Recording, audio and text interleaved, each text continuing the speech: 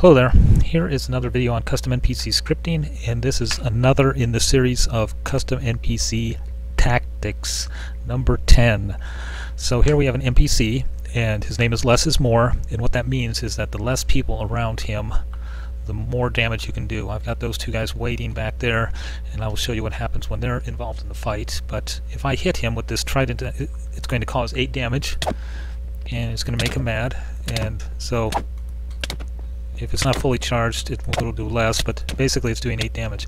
Okay, so we go back here. Eh, where, there they are. Okay, we go back here and we have these guys follow me. Um, you'll see what happens here. Alright. So, now when they're both around me here, we're all doing just not much damage. They're doing 0.5, and I'm doing approximately 0.8 or so. So if I back away,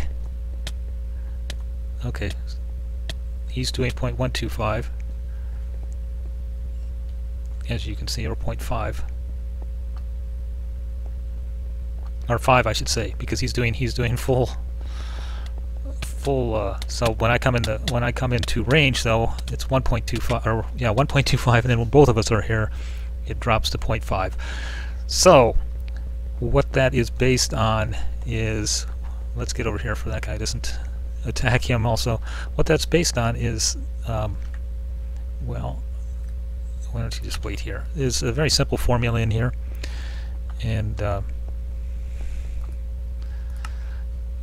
every tick he checks um, if there's any NPC, if there's any entities around, living entities within 10 blocks, and then if there are in the damage uh, function, he will decrease that by the number by this formula right there. If there's no NPCs around, he won't. So you can't. He won't take any uh, damage from uh, arrows. So if if I'm away from him at 10 blocks, or if ever, and no one's within 10 blocks of him, he will not take any damage at all. So um, I can't come within 10 blocks, and he will take damage like that.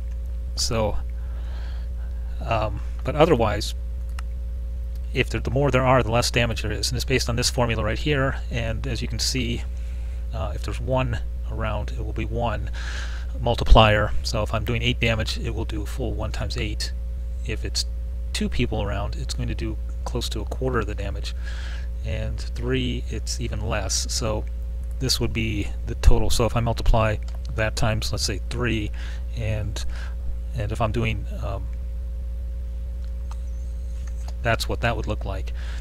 And so it's basically that's why I'm doing 0.88 damage when I'm doing 8 is because if you take uh, 3 or 1 divide by 3 and then divide that again by 3 and then multiply that by 8 that's what damage I was doing so that's why the less is more and as you can see it decreases down to almost nothing the more there are. So it would force players to fight uh, him one-on-one. -on -one. Maybe you can have some sort of tag team thing going on or something like that. But that's the idea there. It would be kind of um, surprising if you didn't know that's what the uh, tactic was. If you went in a group, if this guy was huge, and uh, you went in as a group and started attacking him and realized that you're doing almost no damage, that would really confuse a person. So that's what he does, and it's uh, it's a fairly simple little script, um, but it's an interesting way of dealing with a, a boss. So uh, thanks for watching.